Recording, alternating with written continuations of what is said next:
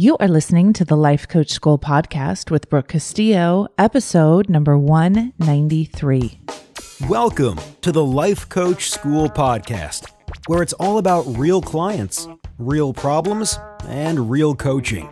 And now, your host, Master Coach Instructor Brooke Castillo. Hello, my friends. What's happening? Oh my God. So good, right? Everything's so good. Or not. I know some of you like this is, you're like, listen, I don't want to hear you say happy things right now, Brooke. I'm mad. I'm angry. That's why I'm listening to your podcast. Make me feel better. I hear you. I totally hear you. So, this podcast is going to be fun. I'm going to talk to you all about what I teach and why I teach it. Because as this year comes to an end, it's a great time for me to kind of reevaluate my contribution and my energy moving forward. What is my legacy? What is it that I'm going to teach? I had like this crazy thought the other day, and you guys should all think about this because it's crazy. That when I die, there is going to be such a record of me teaching, right? Like I would give anything to be able to watch videos of my great grandfather teaching my grandfather, who was the one that was an entrepreneur, life. And my kids, kids, kids, kids can watch video of me. I mean, endless hours of video of me teaching. That like makes me so happy. We are in the process of doing some estate planning, which of course everyone should do. It's very important. And typically when you go to an attorney to do an estate plan, they have you, I mean, obviously, they want you to write a will and talk about like who's going to get what in terms of money and houses and stuff like that. So that's important. And it's very important to have a will and a trust so that all of your stuff doesn't go through probate and the government decides on it or people fight over it or whatever. And this is true. I want to say this, you guys. This is true if you have a little tiny bit of money or a lot of money. It doesn't matter. It's a gift that you give to the people who are left behind to have a really clear direction on how your money should be allocated. And I have to say this my brother passed when, you know, he was in his 30s and early 30s. And he had a will, and it was all very clear. And it was just such a relief to have it be not negotiable. It's perfect because he was married, and had a wife, and he had a trust. And the way that he wanted his money to be allocated was really clear. So, really, really, really important. So, but as we're going through this process, one of the things that they teach at the Wealth Factory, and my I, I, such a nod to Garrett Gunderson about this, is he talks about how important it is to not just leave money to people and to your kids and to their kids, but to leave knowledge and to leave wisdom and to leave stories. And so I've been thinking a lot about this like, why do I teach what I teach? And will my great, great, great grandkids be able to watch it and glean something from it? And it's really kind of a miraculous thing to believe and know that what I'm teaching my students, what I'm teaching in the world, is what I want my great, great grandkids to know. I'm picturing my, let's do four greats, right? My great, great, great, great granddaughter is going to be 19 years old and she's going to be struggling with something. And I want her to be able to watch any of my videos on any of the topics that I teach and be like, dang, Grandma Brooke, she knew what was up. right? Isn't that fun to think about? And so when I approach my work and my contribution from a legacy point of view and what I wish I would have known when I was 18 and how cool it is for me to be able to teach that to my great grandkids is awesome, right? All the videos and all the audios and all the podcasts, they want to listen to me. I mean, wouldn't that be cool? You guys think about this. Wouldn't it be cool if you could listen to your great, great, great grandfather or grandmother talking on a podcast for hours and just get to know her and what she believed and what she was doing in her life. Isn't that amazing? Like, I'm going to be gone, long gone. And they're going to be able to be like, yeah, she used to have these dogs that she talked to all the time. And like, I'm going to be gone and you guys are all going to be gone.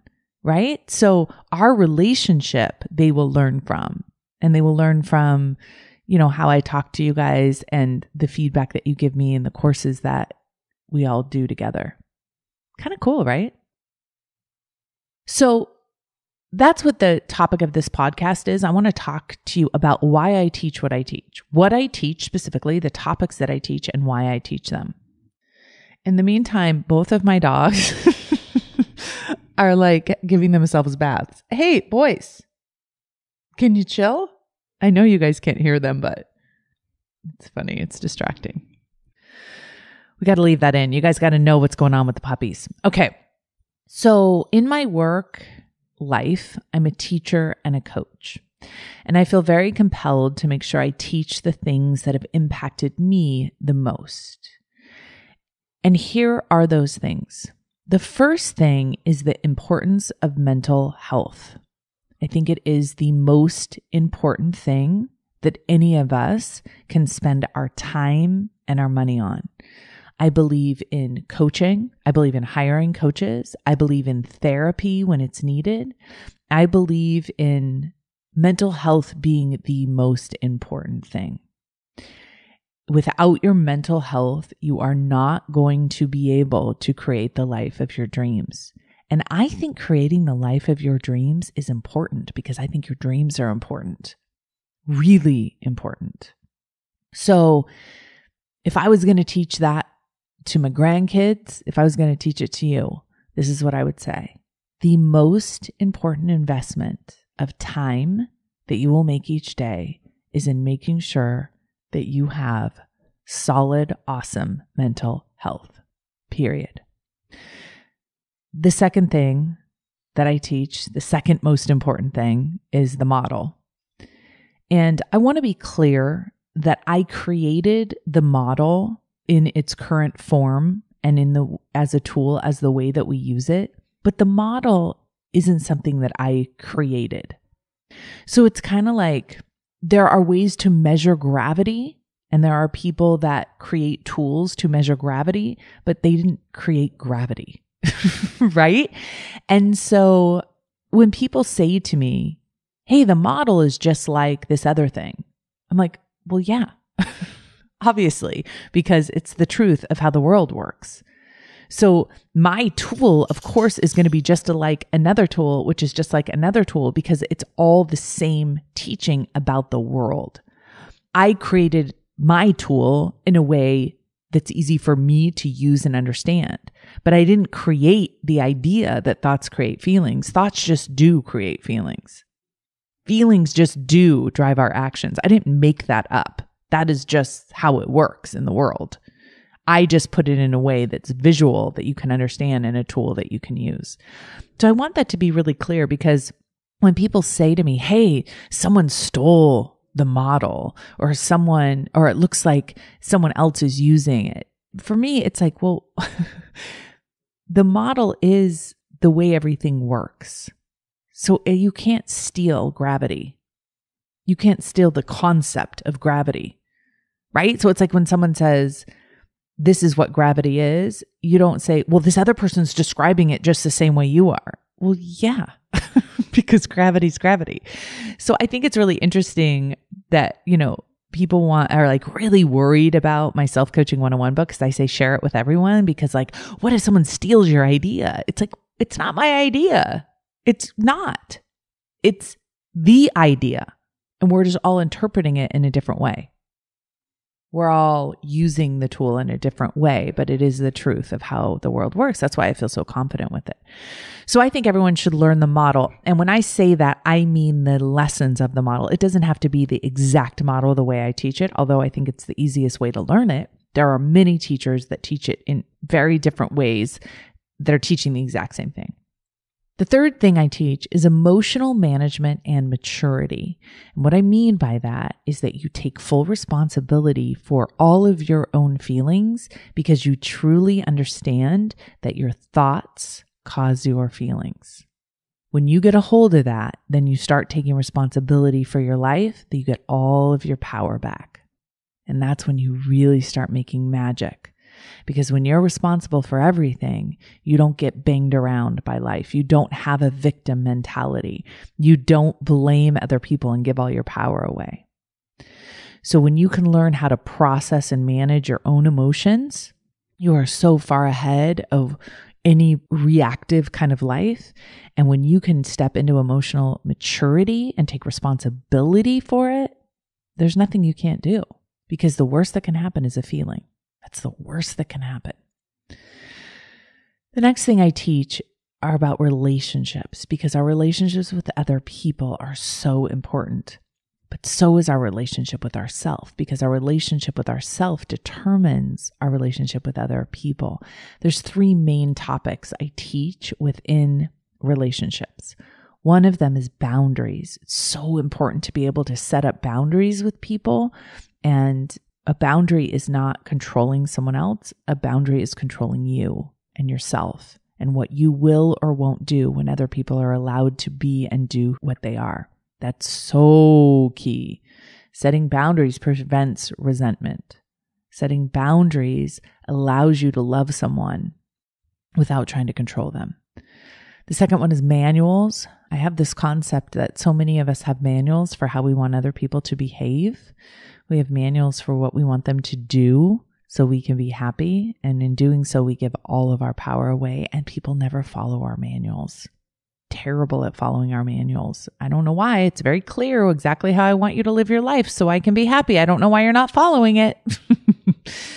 and then I teach the third concept I teach is unconditional love. And I teach that love is something that we do for ourselves and that everybody is always 100% lovable there is no one that is more lovable than another person. And lovability is determined by the lover, not the loved. You get that? There's no one you won't be willing to love, especially yourself. The next thing that I teach about are belief systems. I think this is huge, huge, huge area of progress, but also a lot of opportunity so many of us think that our thoughts that we have in our brain that we've thought over and over and over again are just true. We don't know how to question our own thinking because we're so familiar and we're so ingrained with believing our beliefs.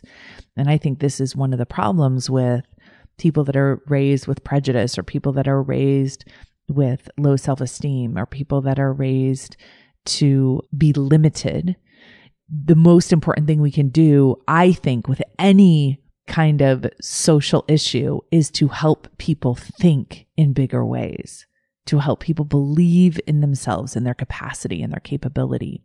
And to believe things that feel good and serve us is our birthright.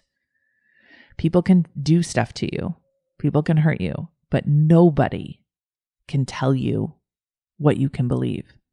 And when I say people can hurt you, I mean people can hurt you physically, right? People can abuse you, all of that, but nobody can get into your brain and tell you what you can or can't believe. That is the most powerful thing I can ever tell you. Someone can tell you that you're a terrible person and that you're worthless, but only you have the power to decide whether to believe it or not. That is our most powerful stance. Someone can say to you that you're not good enough. Someone can say to you that you're not as valuable as somebody else. Someone could say that you don't have the opportunity that other people have. You can't do something. And you can listen to them, but you don't have to believe them. They cannot make you believe them. Isn't that amazing? The next thing I teach is time management. This is something we spend a lot of time in scholars because people don't know how to use their 24 hours in a way that serves them. And the key to managing your time is managing your mind, of course. People think they need to manage their calendars better, but what they really need to do is manage their mind better. And I think using the concept of time to get a hold of your mind is really powerful.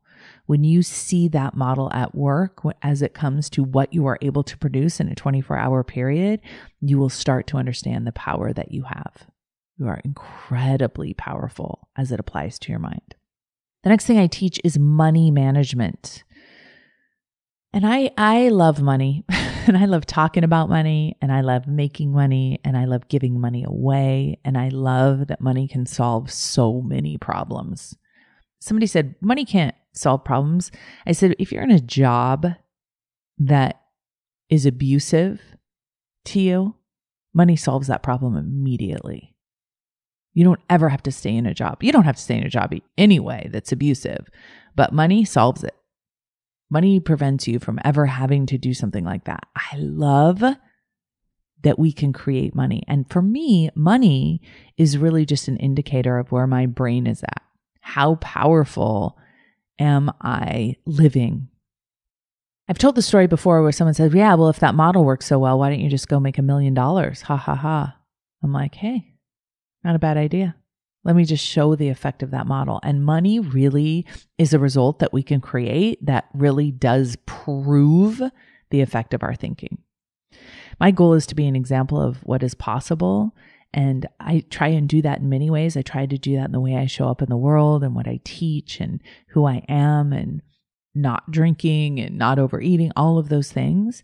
But I think the most significant indicator for many people who are watching me and learning from me is the amount of money that I'm able to produce. And so, why not? Super fun. Super fun to go in the world and play with money as an effect of thinking. I love it. That's what the law of attraction is all about. Just don't skip the action part. The next thing I teach are outcomes and goal setting. I teach outcomes because it's so important for us to give our brain something to focus on and something to work towards. Your brain is the hardware, right? And when you put a program in there of software, that's what it works on. And so you can put whatever you want in there, but you your brain's going to be working. It's the most powerful tool that you have. When you create an outcome and a goal for it to work towards, it does it. It does do that. It just needs direction. If your brain doesn't have direction, it's like a toddler with a knife, very innocently causing lots of trouble.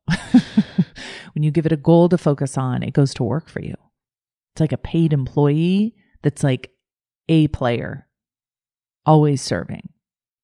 The other piece of outcomes and goals that I think is really amazing is when you focus on an outcome, when you focus on a goal, you can ask yourself to become more of who you are.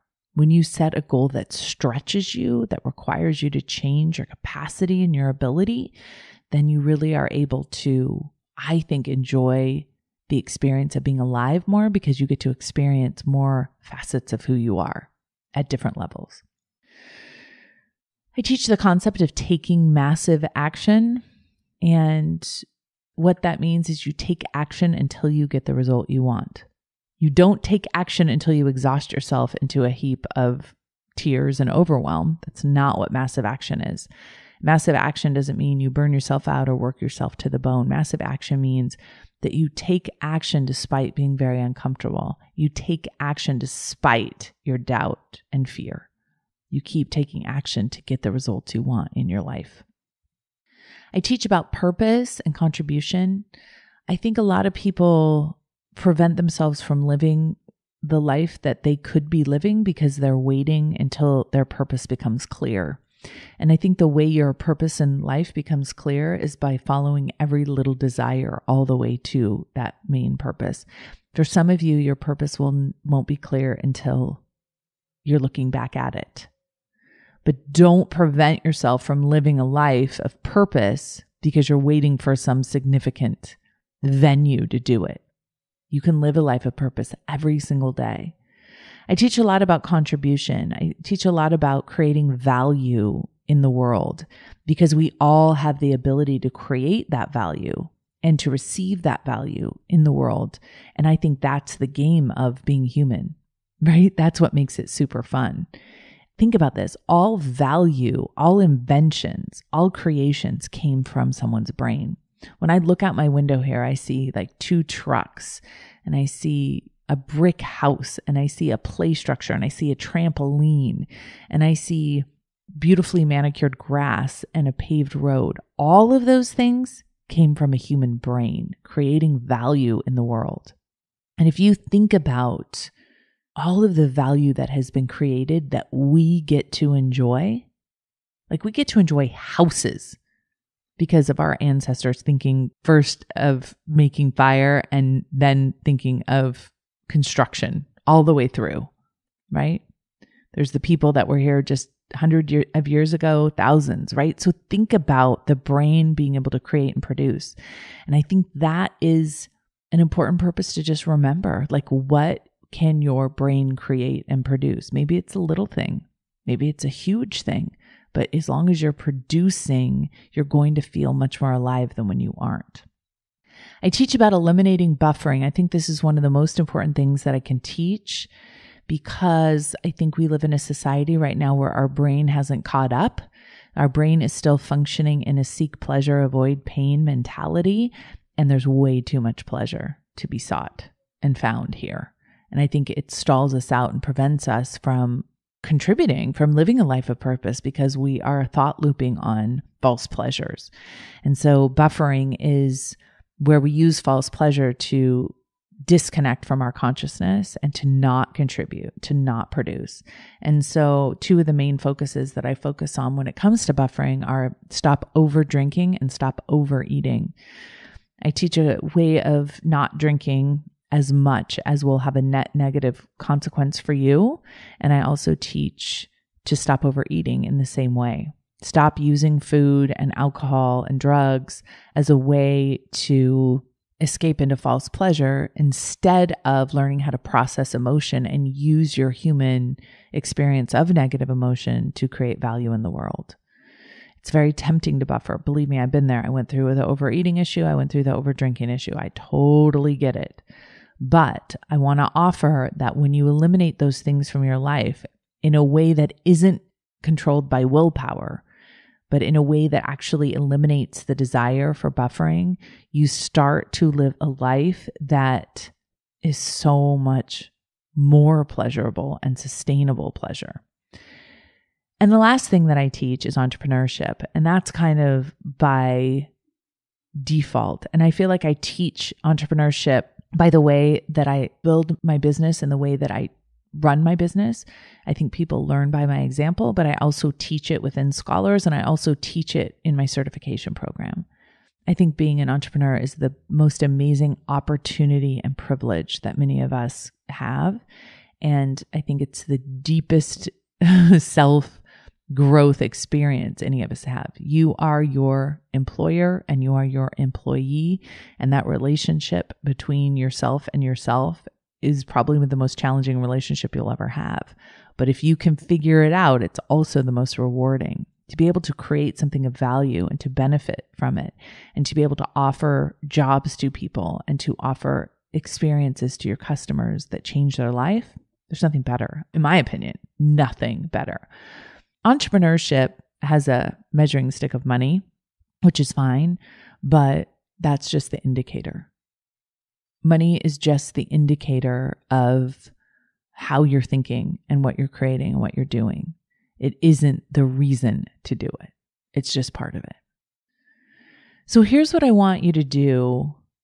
If you're in scholars, I think it's important that you understand all these things that I teach so you can really know that this is what I'm offering to you and learn it all in the deepest way possible. And if you're not in scholars, what's great about all of these topics is that there's a podcast. Within one of these 200 podcasts, there is one where I have taught this concept and you can learn more about it. And most importantly, I hope you'll apply what I teach you because I think if you can get these things that I teach, if you can get your head wrapped around them and apply them in your life, you're going to be able to live a much more accelerated life, much more exciting life than without them. So that is pretty much the legacy that I'm going to leave to my great, great, great granddaughter and my great, great, great grandson. And I really do hope that they will listen to these podcasts and apply the stuff that I'm teaching because I think it will accelerate their lives. I spent, you know, 25 years figuring this stuff out. They can learn it in a couple hours listening to me in a podcast. And I think that's what human ingenuity is, right? It's we don't have to go and create the wheel again in order to have a car. All that stuff's already been created and we just are building on it. And for me, I want to make sure that we do that with mental health. I want to make sure that through the rest of my lifetime, I am just building on the knowledge and deepening the knowledge and applying the knowledge that we already have about mental health because I feel like the opportunity to learn even more, to be able to live a human life in a way that isn't filled with unnecessary suffering. That is what I most want to teach. I hope you guys have a beautiful week. I'll talk to you next week. Bye bye. Hey, if you enjoy listening to this podcast, you have to come check out Self Coaching Scholars. It's my monthly coaching program where we take all this material and we apply it, we take it to the next level, and we study it. Join me over at thelifecoachschool.com forward slash join. Make sure you type in the the T H E lifecoachschool.com forward slash join. I'd love to have you join me in Self Coaching Scholars. See you there.